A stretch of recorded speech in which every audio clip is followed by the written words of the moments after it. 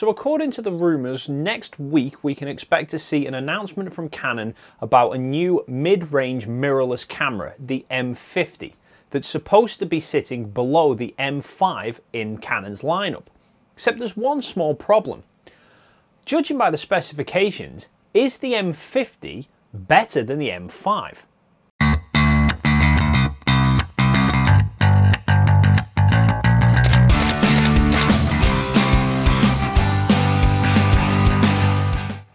So let's look at what the rumoured specifications of the M50 are versus the M5. Firstly, we have a 24.1 megapixel sensor, which is curious because all Canon's cameras at the moment that use a 24 megapixel sensor have the 24.2 megapixel sensor in the M5. This sensor's also been rumoured in their new entry-level 2000D. So has Canon really gone through the trouble of designing a completely new sensor just to make it worse than their current one.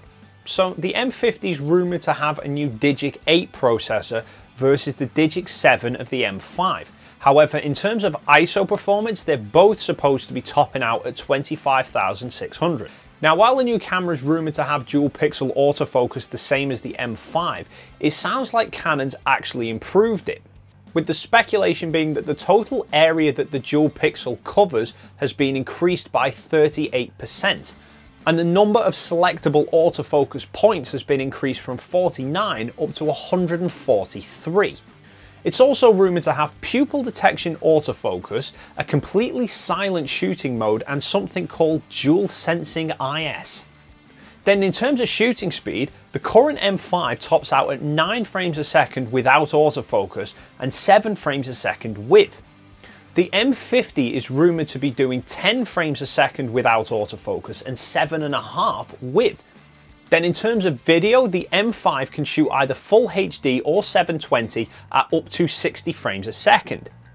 Now the M50 is rumoured to be able to do full HD at 60 frames a second as well, but it will also do 720 at 120 frames a second and the big news, it will do 4K at 25 frames a second meaning Canon have started to finally push into 4K video.